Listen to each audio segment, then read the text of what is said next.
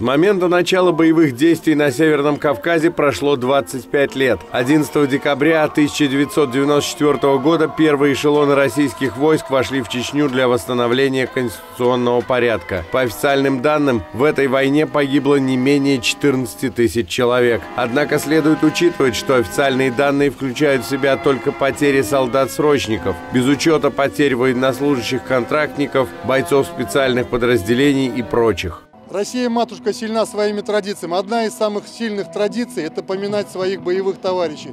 Сегодня мы вместе с боевым братцем Российский союз ветеранов Афганистана, инвалиды войны в Афганистане, общественные организации, которым сотрудничают наши организации, поддержали, пришли. И сегодня же, конечно же, мы здесь возложили цветы.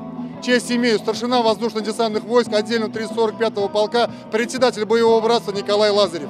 Ульяновская область после этой военной операции не досчиталась 108 парней. Их память почтили на митинге, который прошел на площади 30-летия Победы. Участники возложили цветы к мемориальному комплексу и провели минуту молчания. Долг каждого поименно помнить о тех, кто отдал жизнь за целостность нашего государства. Павел Половов, Александр Кудряшов, Новости Улправды ТВ.